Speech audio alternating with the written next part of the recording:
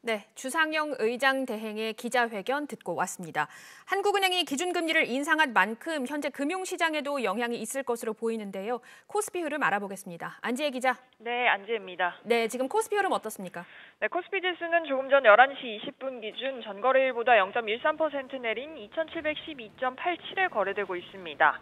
장 초반에는 2700선 사수도 위태로웠다가 현재는 다소 반등하고 있는 수준입니다.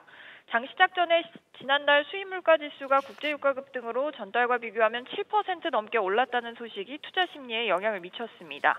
지난달 수입물가 지수는 1971년 통계 작성 시작 이래 가장 높은 수준이자 지난해 같은 달과 비교하면 35% 넘게 폭등했습니다.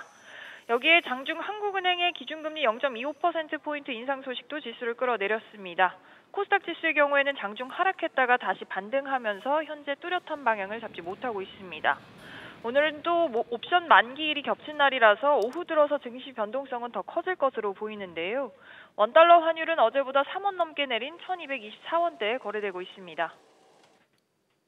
네, 종목별로 움직임은 어떻습니까? 네, 시총 상위 종목 중에서는 삼성바이오로직스와 삼성 SDI를 제외하고는 전반적으로 약세입니다. 특히 반도체주가 크게 빠지고 있는데요.